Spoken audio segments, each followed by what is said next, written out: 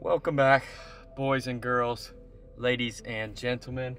I'm currently here in front of my house in Austin, Texas, about to embark on quite the adventure. Right now, I got my boat. She's back there somewhere, all hooked up and ready to roll. I'm actually driving here from Austin, Texas, all the way up to Dallas to my buddy Jon B's place, who you guys are all familiar with. We're gonna link up with Jon B. I'm gonna drop my boat off at his place, rig up some rods, and then go stay with another buddy that lives in Dallas. So we got quite the driving to do. Oh, and before all that, I'm gonna make a pit stop in Waco, Texas, and uh, pick up a couple essentials for our trip. Tomorrow morning, super, super early. I'm going back over to Jon's place, gonna pick up my boat and hit the road. We got like a four hour drive, give or take, and we're really going into the middle of nowhere to a lake that's been on Jon and I's radar for a while and some absolute monster bass have been getting caught out of there. So we obviously have one goal in mind, and that is to go capitalize on the great summertime fishing this lake holds and hopefully catch some double digit bass, which this lake is 100% known for. We're hoping for the best and uh, hope that this is gonna pan out. We're gonna catch some giant bass. I appreciate all you guys tuning in once again. It's gonna be quite the journey and uh, look forward to seeing some giant bass. Let's go get it done.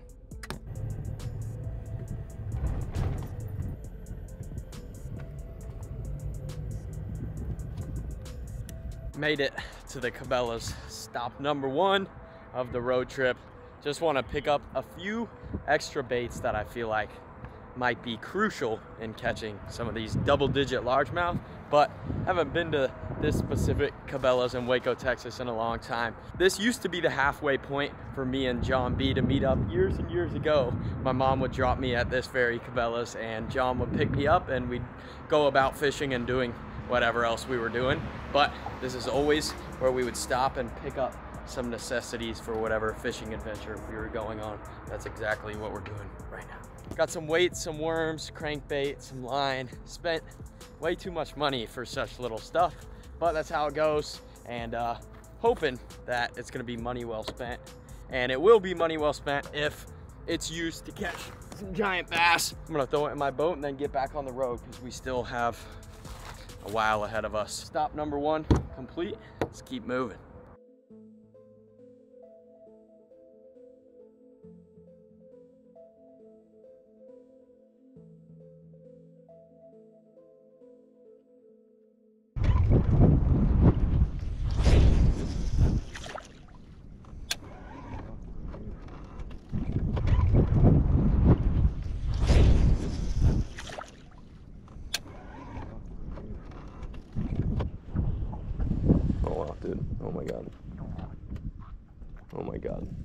Oh, he just ate it, dude. Did he not just eat that? Dude, I swear he He did. Oh, He just pecked it again. Smoke him. Yep, big one, dude. Big one. Big one, bro. Big. Oh wow. Nice one, dude. When you get him? It's a good fish. nice one, dog. That's awesome. That's why we came out here. Let's go.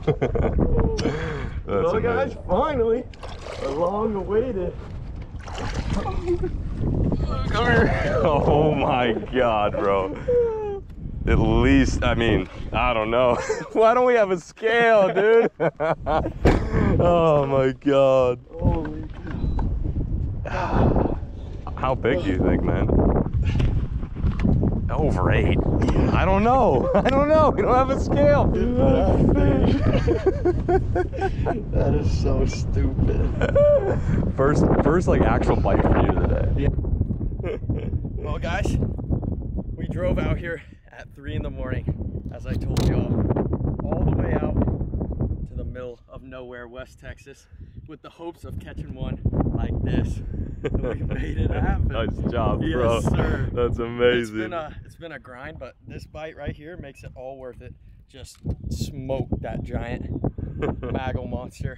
Oh, there's plenty more in this lake this size, so we're gonna get a couple picks and then let her go. That's a beast. Of course, I did not bring a scale, but that fish is every bit of I think nine. yeah nine least, pounds. At least. Pretty awesome.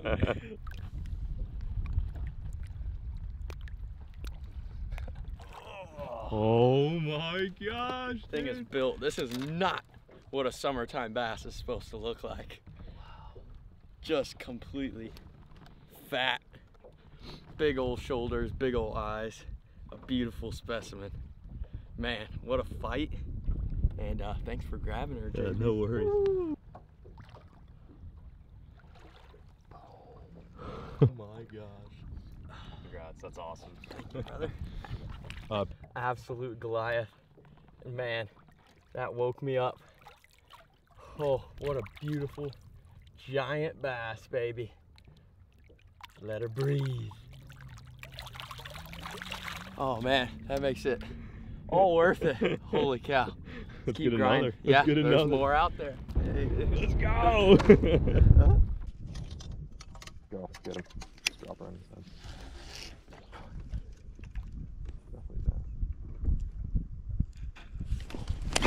Saw that. No. Big one. That was so sick. That was sick. Are you recording? Yeah. that was so stupid, bro. That was actually the dumbest thing I've ever seen. Bring it over here. Six pounder. Buddy catches a nine and a six. Little your first drop. that was like a five maybe. Holy Good fish. Oh my gosh. Oh, that was completely random. I was trying to get that fish and I missed twice and I'm like, just get him. Like, just catch him. And I literally dropped it straight down and she smoked it and was caught up in the trolling motor and somehow still landed her. Our average is pretty pretty good. Yeah, we're working our way up for sure. Maybe, uh, Another old one eye. yeah, another old one eye. Jon caught one this morning that only had one eye. And this one, this one also. Nice fish. Oh yeah. What the hell? Not quite as big as my last, but Right on top of his head and he ate. I'm gonna take it. It was like a reaction strike. I guess I missed him completely. Good girl. There she goes. Boom. Let's keep going. Well, this is the name of the game right here. Just a 12 inch plum apple Mag Ol Monster. Like my favorite time or my favorite color this time of year. You've seen in my previous video, I was catching some nice fish down in central Texas on it and uh, brought it over here to West Texas and doing the same thing, just dragging a worm, putting it on their head and they're smoking it. But uh, that was pretty brutal considering I just got that fish in the trolling motor. So I'm gonna, I'm gonna retie and then keep dropping it straight underneath the boat, I guess. That was pretty crazy. Super fucking crazy. Not bad at all. No. Oh, you'll be amazing. Yeah.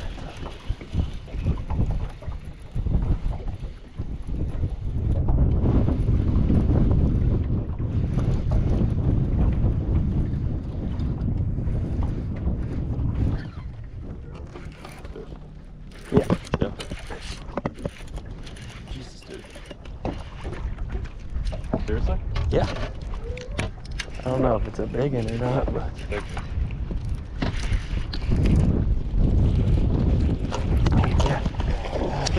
Good one. holy cow. Oh my god, nice. How big? Oh god. Well, I'm just ripping around a crankbait and it just got all mushy on me. And I'm loaded up How big is that? on a big one. I don't know, dude. Seven or eight? Oh my gosh, this lake is so stupid. Maybe they want some. Maybe they want the crank, dude. Yeah, maybe. Maybe they don't want the. They don't want the. It is windy. Oh, it's a good fish. Yeah, it's probably a seven, six, seven pounder. Oh, that was so dope. Bring her here. Bring her here. Did you get her to jump more?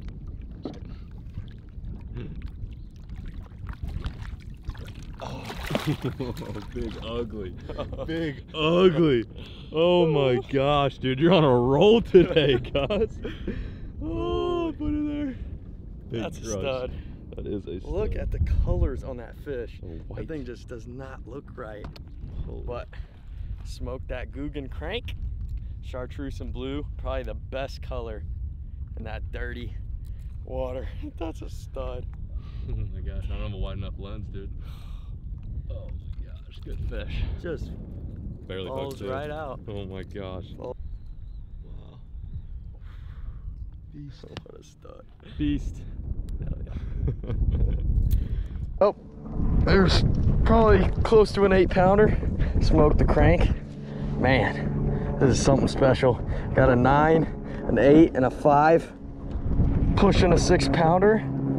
Unreal. And uh, we still got plenty of daylight, so we're gonna try and get a few more girls like this and hopefully one two pounds bigger.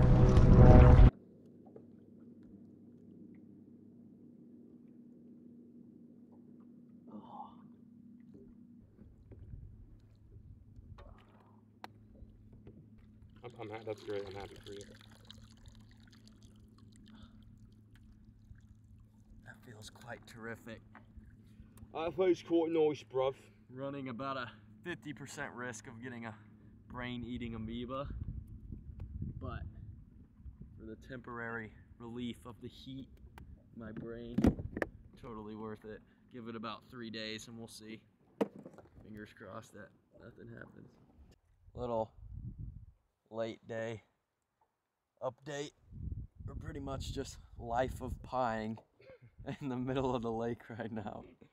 The cranking battery unfortunately has taken a, a poop on us. So we no longer have the cranking battery and we're now running the graph the trolling motor and the starter all to the two 12 volt trolling motor batteries.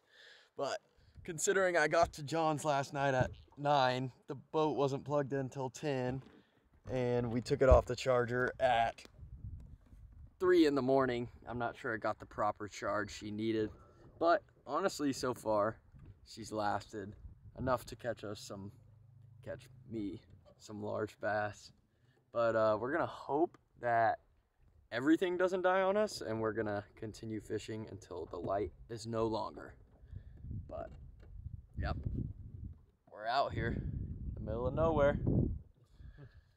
Gonna get another big. Let's do it. Today. Um, you guys want to book a trip with me, I'm guiding out in West Texas, half send fishing. That's me. Oh, he pretty much summed it up for you. But that is the end of day one. We still have plenty of time ahead of us. We got tomorrow and the next day to catch something over 10. But honestly, really, really good first day. A nine, give or take, an eight, give or take, and a six, give or take. That's pretty dang good in my books. Barry? Oh, yeah, and he caught a five. But And a 25 pound. For- Oh yeah, and a 25 pound catfish. All in all, fun day. Very few bites, but the ones we did get were big. And uh, yeah, we're just gonna run some new stuff tomorrow. Hopefully get a donk. Hopefully Jon can hook up to one. What you think, buddy? Um, yeah, man, I love I love fishing with Grant. He's probably one of my favorite guides out here in uh, in Texas. Definitely the most knowledgeable. Um, unfortunately, though, expect the day to end a little early. Only has a tiny battery in the back of his boat, so it will die inevitably. True. Well, I was actually expecting my client. Didn't bring- didn't Well, he did bring a battery. It just didn't work. didn't bring drinks either. I did. I got the. I got the gallons. I don't know. I mean, it was good for him, but I just, as a client, I just feel like I was robbed. But anyway, yeah. Hey, get dialed, buddy. Pretty much sums it up. Another happy client, Jonathan Barzakini. Tried our best to put him on one, but you know, sometimes sometimes his, you know, the money goes just as far when he's watching me slack out on some giant bass. But won't be getting a tip. no tips. No tips today. Dang it. Well, see you bright and early tomorrow morning.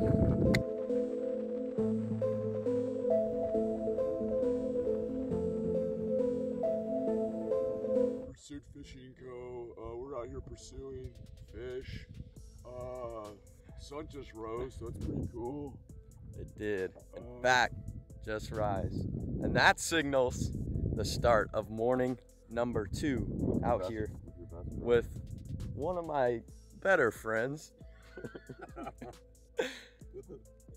Jonathan Barsakini. But uh, yeah, this is the start of morning number two out here in beautiful West Texas. As you guys saw, yesterday was quite the success. We ended up catching some monster fish of all species. Um, couple giant bass and then that one huge yellow cat. But um, all in all, it was a great day. A long day. We're, we're much more rested now. Feeling very optimistic. The boat's looking 15 times more clean than she was at the end of yesterday. But uh. Courtesy of Jonathan Barsacchini. We're gonna kind of run the pattern we did yesterday, and that is really no pattern, but just going around looking for giant fish on the scope, pitch on their forehead. They munch, or 95% of the time they don't. But you come across that one big one that does want to eat, and um, it's game on. So we're gonna bounce around, try some new stuff, not fish one area too long, and uh, kind of just stick with our guns out here and hopefully catch something in that double digit class. We do have a scale today, so hopefully we can work our way up to a mega sack. Let's go get them.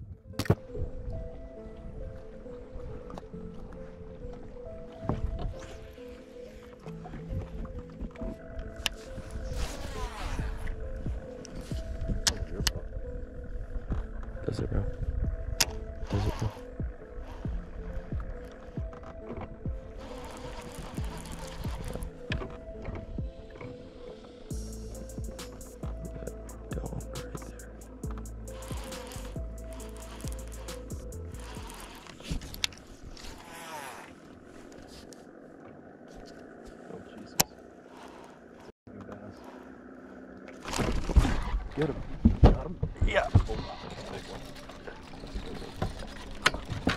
Can we grab him? Oh, oh my. Can we grab him? Yeah. God, dude. Oh my God. that, was, Double. that was insane. That was insane. Oh my gosh. Oh my god. Holy cow, guys. I am hooked up. okay. Oh my god, it's a giant, bro. You good, you good. Oh no.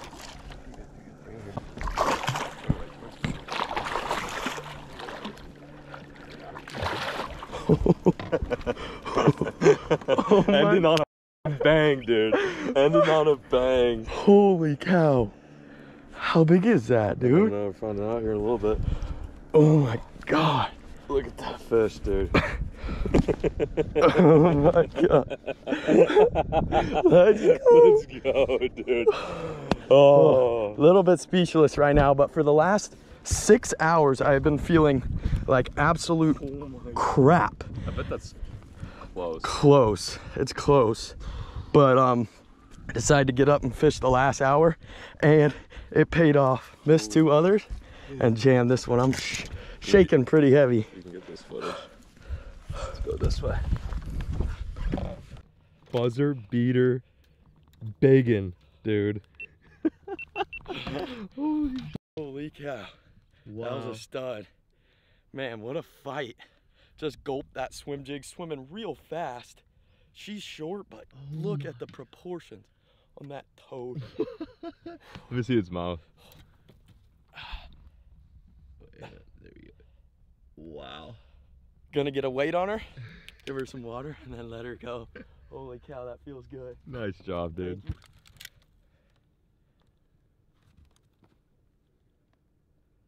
No, not quite. 9-2. Nine pounder Yeah. though, dude. Holy shit.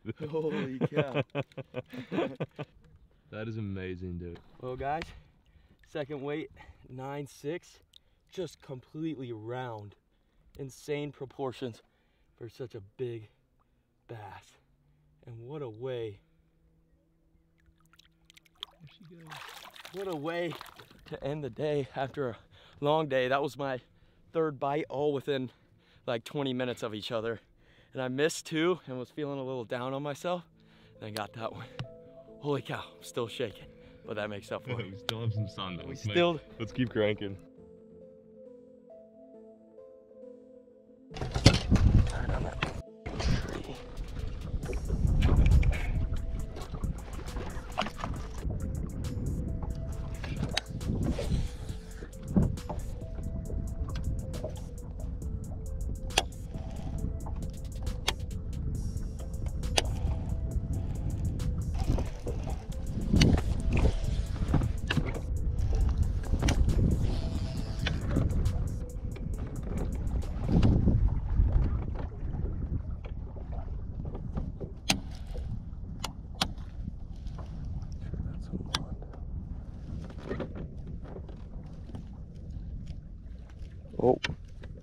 She's on it.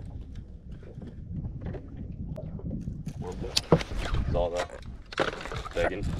Yeah. You mean to grab her? Oh wow, begging, dude. Stuck? No. No, I got her. Oh my god, there's a big fish. You mean to grab him? Uh, yeah. Okay. Oh, nice one, dude. Well, guys, saw this fish parked up on that tree. Dropped my worm right over her. She smoked it. Oh my god, so fat. Yes, sir. God, that thing is just not built correctly. Start the day. Well, oh, I Big- saw your rod go. doing. big old worm fish right there, boys. Woo! Man, stuck that fish, but saw her just parked up on that tree, dropped the worm, watched it go right over her head. Look at the build on that. Typically, as most of you know, summertime bass are characterized by being long and skinny, but this is the exact opposite.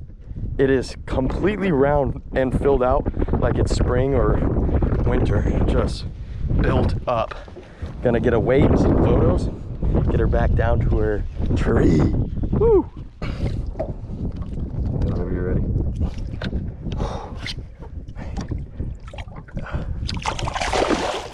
Perfect. Started to swim out, and I swam my worm right through the tree and then dropped it right overhead. She went, "Whew." and I lost her for a second, and my line just started moving. I was like, oh, there it goes. Whew. Well, as you guys saw, day number three has started off with a bang. We got that eight pounder right off the rip. Jon caught a big one, and then I dumped a nice one, but not one of the huge, huge ones. But we just pulled over on the bank, taking a quick potty break, and then we're gonna get back to it. Honestly, been such an amazing fishing trip. Yesterday, I was feeling pretty crappy. Um, but took some Tylenol, slept it off, and I'm feeling great and very optimistic for the rest of the day. We still we still got so much light today, and uh, we're both gonna focus up and try and break that double digit because we know she's in here, and we've honestly probably had a few shots at her so far. Feeling that five fish limit today, and uh, I'm thinking we might get that absolute giant. Let's keep running.